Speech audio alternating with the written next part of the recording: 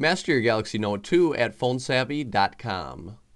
To enable sound and vibration on your device so that when you get an incoming call it also vibrates and rings, from your home screen select the menu button that's down here in the bottom left corner.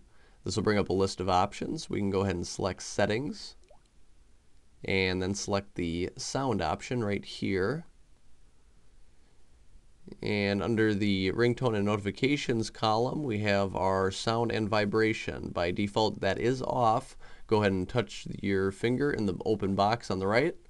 That'll place a check mark there, and you have now enabled sound and vibration.